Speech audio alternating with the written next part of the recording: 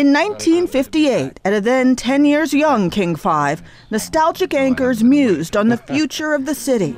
Seattle is not only spreading out, it's spreading upward. Some 35 to 40 million dollars worth of new buildings, many of them in the skyscraper class, are being built in the downtown area.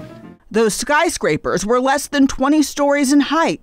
Seattle would more than triple in size over the next 65 years. The cool thing about King coming on the air in 1948, that's when Seattle is really coming into its own. As King 5 came into its own, an early mock up shows what its television center could have looked like. The mock up was ultimately abandoned, but the designer went on to a much bigger stage. That's where I am?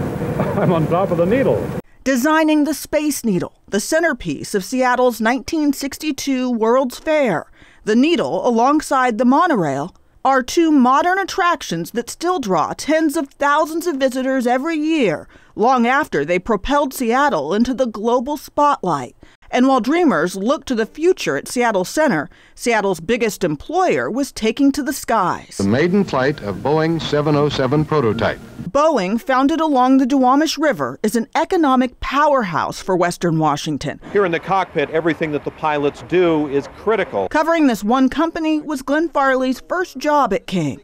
He arrived in 86, 15 years after the Boeing boomtown went bust. As tens of thousands of people lost their job in the early 1970s, two real estate agents paid for this iconic sign over the freeway. Will the last person leaving Seattle please turn off the lights? The price of housing here, if anybody can believe this, actually dropped and dropped dramatically. Boeing would recover, but Seattle would keep changing. It was no longer the only game in town as companies like Amazon, Microsoft, and Starbucks transformed the region.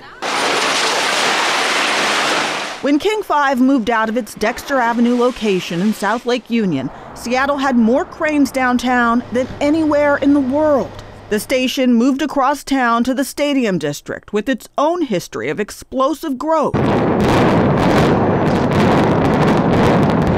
Seattle said goodbye to the Kingdome in 2000. And the 0-1 pitch on the way to Edgar Martinez. Swung on the line down the left field line for a base hit. The city's home for big memories. Here's Junior to third base. They're going to wave him in. Without the Kingdome, there'd be no Seahawks, no Mariners, no Supercross, no place to seat 74,000 people for a Billy Graham crusade. But from birth to destruction, it was also a home for controversy. The Kingdome was this big monstrosity, some monster that was going to come in and wipe out the whole neighborhood.